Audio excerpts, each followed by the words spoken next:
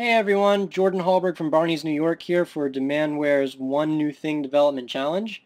Uh, just get right into it. Here we have a totally vanilla, brand new Site Genesis storefront.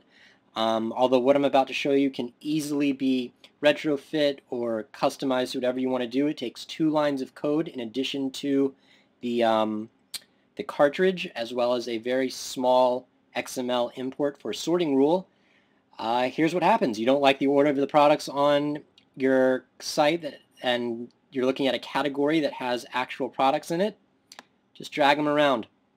Switch it up. You don't have to go through the business manager. You can just do it right here on the page and hit save. Up here in the corner, it makes an AJAX call. It rebuilds the sort order and it synchronously uh, does an index so your changes appear immediately. Um, as I mentioned, it doesn't take much at all to install this. Uh, it'll save you a ton of time. You can also use the existing sorting rules to help you on your way. You go ahead and sort it price low to high, but maybe you really want this product first. Fine. Whoops. Fine, save it, and then the next time someone comes to the default rule that is set up as the explicit sort, they will see it in this order.